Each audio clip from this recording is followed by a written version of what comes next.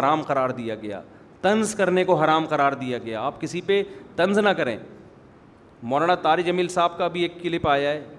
वो उसमें किसी को कोई हाथ मिला रहा तो उसको यूँ कर रहे हैं। तो तंज करने वाले ने क्या वीडियो बयान, ऑडियो रिकॉर्ड करवाई कि देखो फलां सेठ से गले मिल रहे हैं और एक मदरसे के तालब इल्म को यूँ यूँ कर रहे हैं। ये आपकी नेगेटिव सोच की दलील है। भाई, ज़िंदगी में पता नहीं कितने लोगों को ऐसे किया होगा, कितने लोगों से गले मिले होंगे, उसमें मदरसे के तलबा से भी गले मिले होंगे। अब कोई एक वीडियो उठा ली कि सेठ से मिल रहे हैं, वो किस मौके पे मिल रहे हैं, वो मौका कौन सा है, और जिसको यूँ यूँ कर रहे हैं, वो मौका कौन सा है? दोनों को आपस में क्या कर दिया? मर्ज कर दिया आपस में। हो सकता है उस उस लड़के से नाराज़ी चल रही हो, या थकावट की वजह से ऐसे किया हो। एक आदमी कह रहे जब ऐसे कर सकते हैं तो यूँ नहीं कर सकते। उनको पता है, यूँ करूँगा तो बीस और लोग होंगे जिनको यूँ करना पड़ेगा।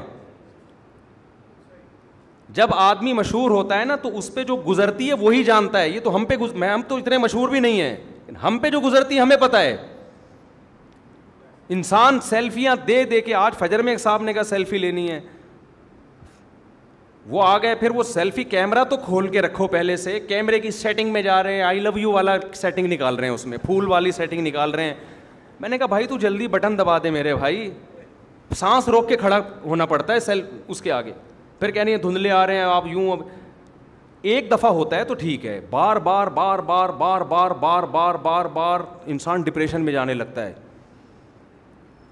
तो ये उसकी ज़िम्मेदारी है जो आपसे मिलने के लिए आ रहा है कि कोई ऐसा अमल ना करो, हम जिससे मोहब्बत करते हैं, हमारे अमल से उसको तकलीफ़ ना हो। लेकिन आपकी पूरी कोशिश है कि मैं अपनी मोहब्बत का इजहार कर दूँ, अगला, अगले के साथ जो भी हो जाए।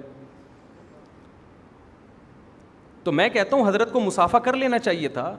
इसमें भी इख्तलाफ होता है कि करना चाहिए था, नहीं, वो चलो ठीक है। ज़्यादा से ज़्यादा आप ये कहते भाई, हज़रत ने यूँ किया तो हज़रत कर लेते तो अच्छा था। इतना। फ़ौर मुकाबले में किसी सेठ का दिखा दिया, देखो, इससे गले मिल रहे हैं। भाई, वो एक अलग मौका है, ये हो सकता है, हमें क्या पता, वो तो उन्हीं से पूछा जाएगा तो बताएँगे ना।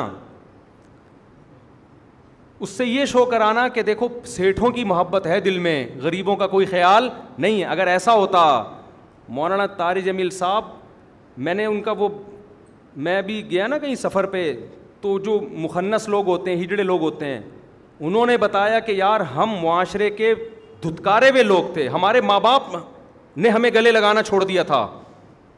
मौलाना तारी जमील साहब ने ऐसे हमारा इस्तकबाल किया खड़े होकर। कह रहे, हमें पहली मरतबा किसी शख्स से इज़्ज़त मिली तो मौलाना तारी जमील साहब थे।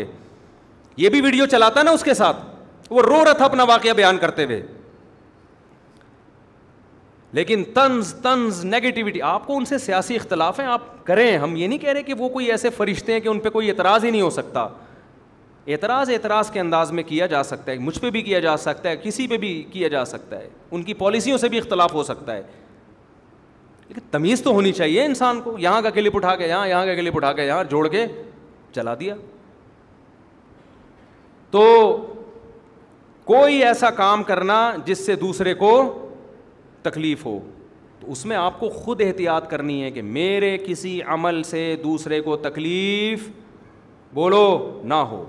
एक बात मैं बता दूँ, अभी मैं सफ़र में था लाहौर में। वो लड़का नहीं जिसको मौलाना तारी मिल साहब ने मुसाफे से पीछे तक, वो मुझसे मिला। तो उसने वो जो वजाहत की, वो मैं, वो मेरा अखलाकी फ़र्ज़ बनता है कि वो मैं आपको बता दूँ। उसने कहा कि वो मौलाना जब मुझे पीछे धकेला है, वो वीडियो बन गई। उसके फ़ौरन बाद मौलाना मुझे, मौलाना को नहीं पता था वीडियो बन रही है।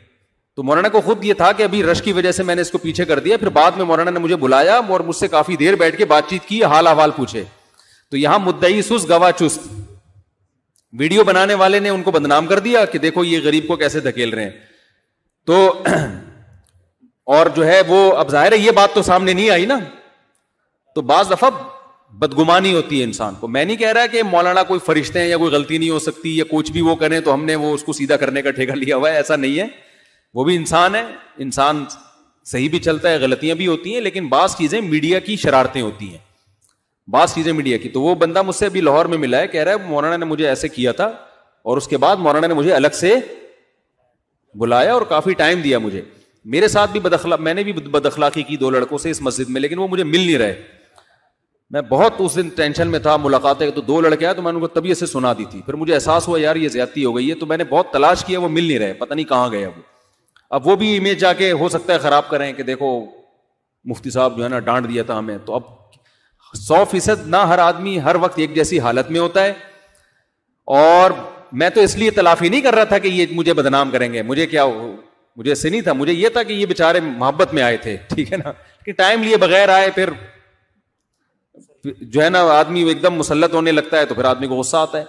वो मुसलत भी नहीं हो रहे थे, मुझे तो गुस्सा वैसे ही आया हुआ था। तीन बीवियों तो वैसे खाम खाम में बाज दफ़ा गुस्सा। इस पे आ रहा होता है कि तीन क्यों है? क्यों की मैंने ये?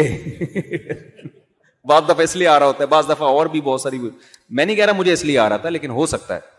तो घर वाले भी सुन रहे होते हैं असल में मुझे बहुत। हर तरह से सेफ़ साइड सेफ़ तरीके से चलना पड़ता है। कोई ऐसी बात ना हो जो किसी के खिलाफ हो जाए। एक साल का तो आपको वाकया मैंने सुना दी, और भी साले हैं, वो सब दुश्मनी पे ना उतर आए ना।